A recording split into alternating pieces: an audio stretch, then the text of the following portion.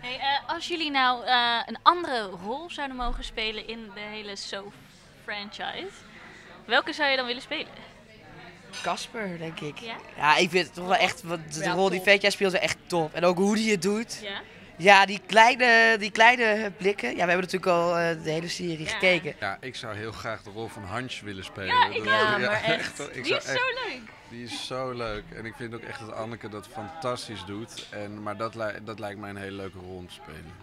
Nou, alleen al als je Anneke op een brommertje ziet. Nou, ik, je smelt gewoon. Je bent gewoon verliefd op die vrouw, toch? Ja. Ja, ik zou heel graag Eddie willen spelen. Ja, ik, zou heel vind... graag ook Hansje Ja? willen Ja. spelen. Oh, hij met zijn, met zijn, met zijn kampeerbus en zijn, zijn, zijn vrijheid. En eh, ja, ik zou heel graag... Die, en eh, als personage is hij echt een aanjager. En dat is ook leuk om te doen. Ja, Vetje? Nee. Nee. Ja, wie zou dat dan moeten zijn? Nee, ik, vind, ik, ik, ik blijf bij Eddie hoor. Ja? Ja, ja. Mag je ook weigeren? Nee, want ik. Ja, jeetje. Ik vind Hansje bijvoorbeeld heel grappig. Dat lijkt me heel grappig. heel, maar ik zie daar toch echt alleen maar Anneke in. Ja. Dat is gewoon moeilijk, echt ja. Anneke. Ja. Dus ik zou daar echt nooit iets anders of beters van hebben kunnen maken, Nee. denk ik. Nee, raar. hè? Dat kan ik.